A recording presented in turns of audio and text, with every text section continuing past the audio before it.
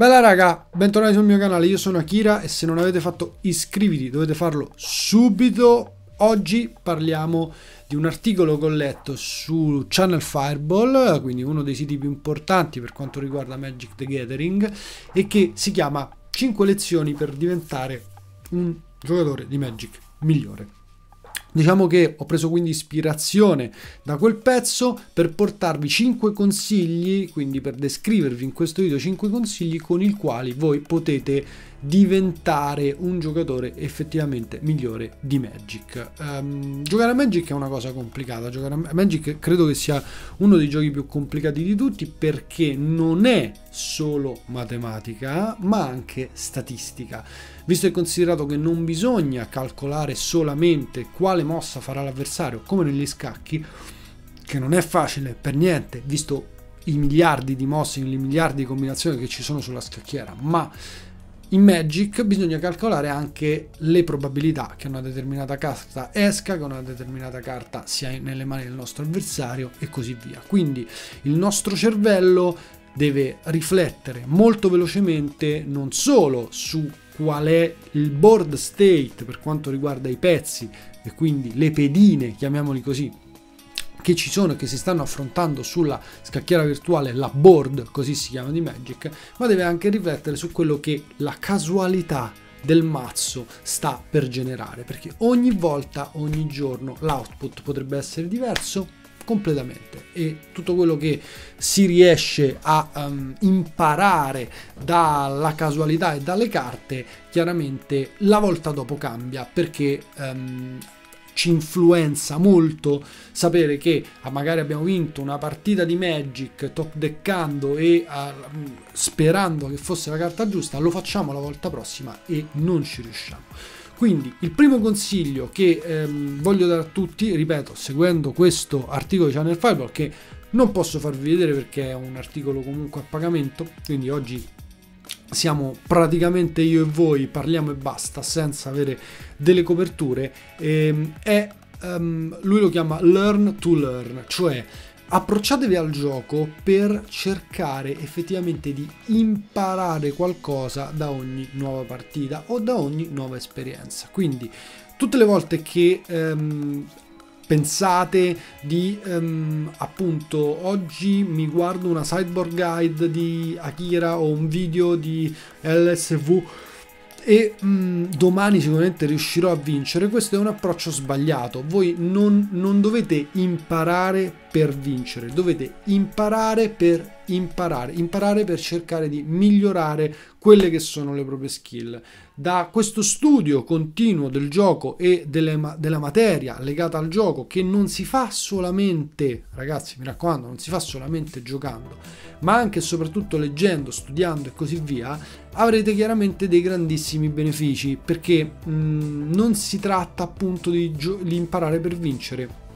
Dovete accettare assolutamente altri fattori che contribuiscono alla vittoria o alla sconfitta all'interno delle vostre partite, ma si tratta di imparare delle lezioni in determinate situazioni che poi voi potete riapplicare. Quando e se vedete un video appunto di Mengucci che gioca una, un determinato board state e non dovete rigiocare stesso, la stessa carta in quello stesso board state, anche se tra l'altro è molto difficile che succeda, no? Però mettiamo che l'avversario ha Yasharn in campo e voi avete 6 mana, dovete decidere se fare un Hydroid Crasis da 4 o meno per affrontare Yasharn e per bloccarlo, pescando solo due carte, invece magari di fare una Nissa che si fa a 3 e che poi potrebbe essere uccisa la terra da un Fatal Push e anche la Nissa.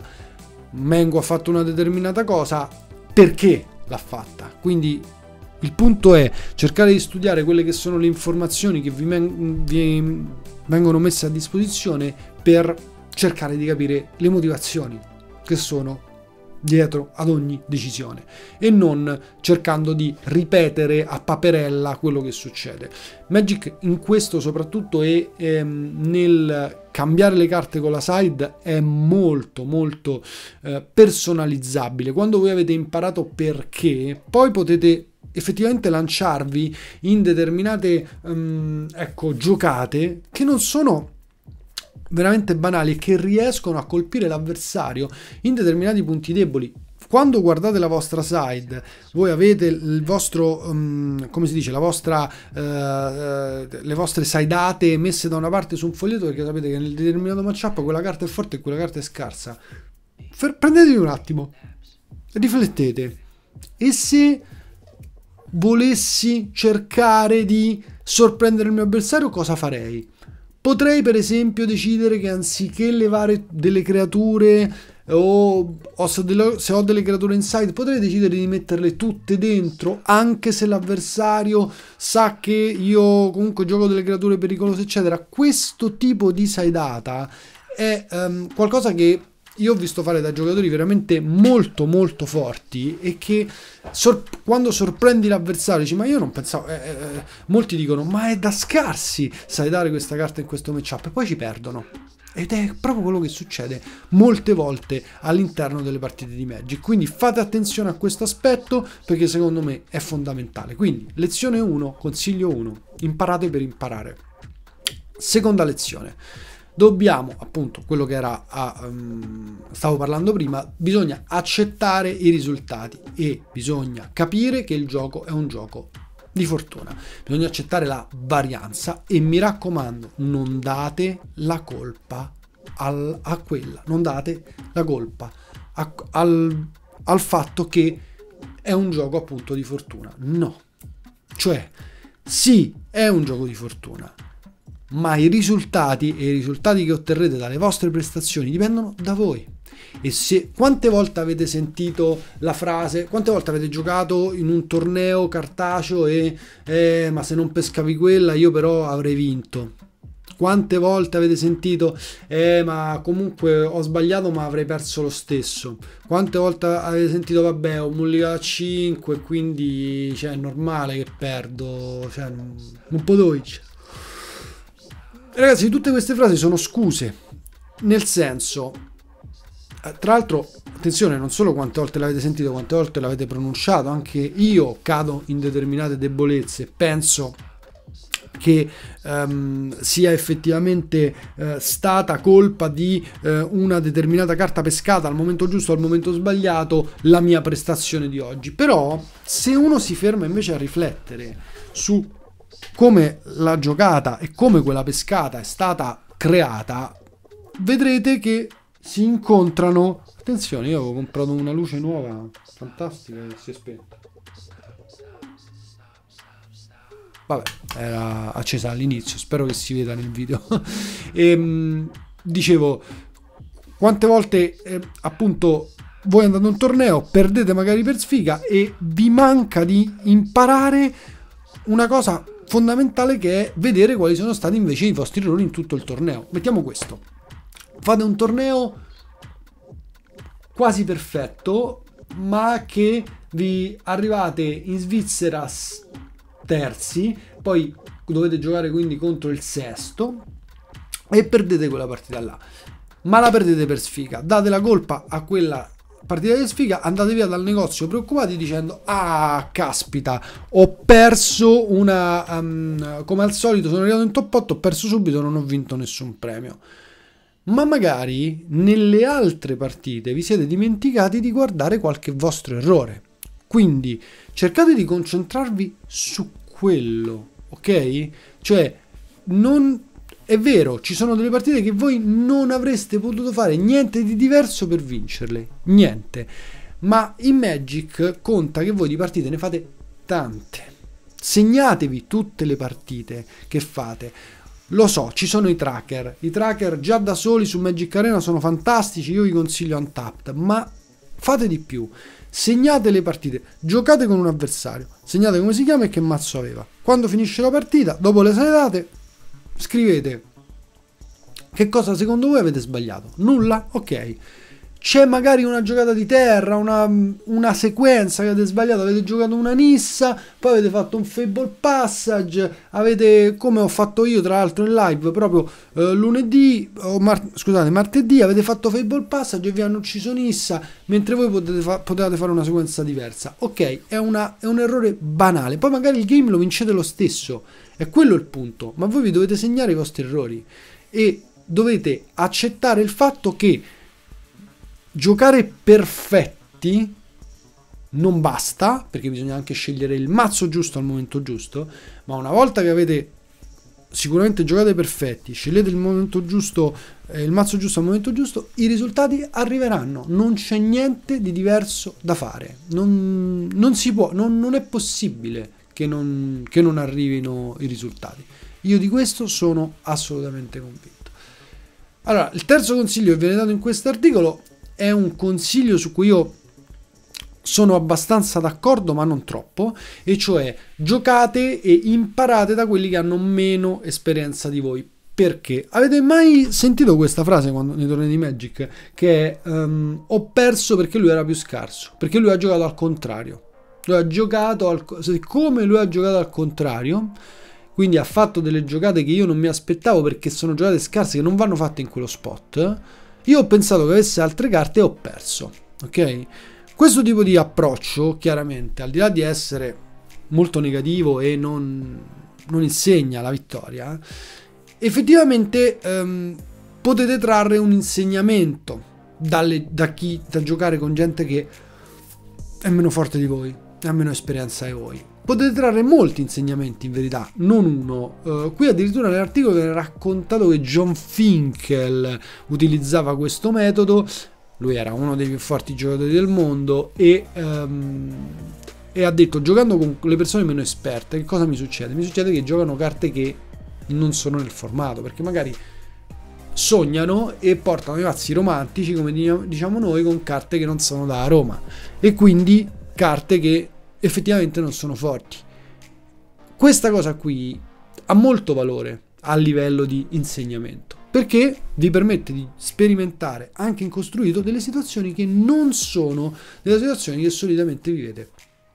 E questo è molto importante. Questo effettivamente è una cosa che um, può farvi crescere come player, perché capire come ha ragionato il vostro oppo, magari anche chiederlo tutte le volte, cercare di um, andare al negozio per imparare dagli altri, anche se sono meno esperti di voi, è una cosa che potrebbe portarvi a essere non solo un giocatore migliore, ma anche una persona migliore, perché chiacchierare con questo tipo di persone vi fa capire anche i loro ragionamenti e da tutto si può prendere un insegnamento. Quarto punto, non concedete mai. Molte volte nei video mi avete detto ma tu hai concesso troppo presto, no, ma non dovevi concedere, eccetera. Ragazzi, io faccio video. Quando faccio video chiaramente io voglio portarvi un contenuto fresco, veloce e eh, rosico anche che se le cioè, i giocatori giocano lenti perché io non ho il tempo di montare, se no non sarei qui su YouTube e non ho il tempo di montare i miei video, di levare tutte le parti, le parti in cui me la prendevo con la luce spenta, che non so che gli è successo, le parti in cui faccio uno sbadiglio, le parti in cui eh, non sono abbastanza veloce a parlare, non, non, ce l'ho questo tempo qua. Quindi è evidente che io um, cerchi di portare dei contenuti che sono molto molto veloci, ma nella realtà io è difficile che effettivamente conceda. Ci sono due motivi sul perché. Allora, innanzitutto, anche se voi avete perso in board, avete vi sta attaccando una 3-3. Ave, siete a 6, vi attacca, vi manda a 3, pescate, pescate terra, quindi siete morti e concedete. Sì, ok, va bene. Ma se non concedete e vi tenete quella carta, c'è ancora una piccolissima possibilità che l'avversario sbagli. Quindi è vero, succederà una volta su 100. Magari lui è pieno di counter e avrebbe attaccato lo stesso e voi avete solo perso un po' di tempo.